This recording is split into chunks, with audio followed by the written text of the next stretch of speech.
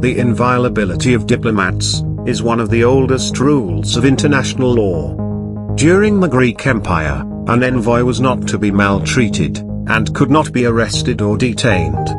In modern days, diplomatic immunity from court jurisdiction became accepted as a rule of international law, with the main objective to ensure the effective performance of diplomatic functions, which prevents the hosting authority from intervening with the diplomat work. The diplomatic immunity is divided in two categories.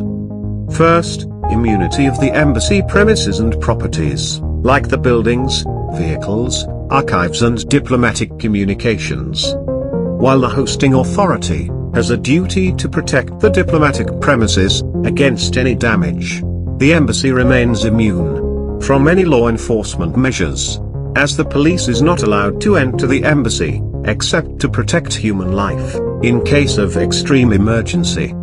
A notable example, was the shooting incident, at the Libyan embassy in London, where the UK continued to respect the inviolability of the embassy, despite the shooting of a police officer, by a bullet fired from within the premises. The second type, is the immunity of the personnel working in the embassy, from local court's jurisdiction. Which means that the diplomat, is absolutely immune, from any form of law enforcement. Like arrest, detention, and search. In addition to immunities, the envoy and his family also enjoy certain privileges in the hosting country. As the embassy is exempt from paying taxes, except the payment for services like electricity or water bills. And the diplomat is also exempt from baggage inspection, unless there are serious grounds that his baggage contains prohibited or illegal materials. On the other side, privileges and immunities can also apply to non-diplomatic personnel. Those are the admin and technical foreign staff, who enjoy limited immunity from civil jurisdiction, for actions only performed at work.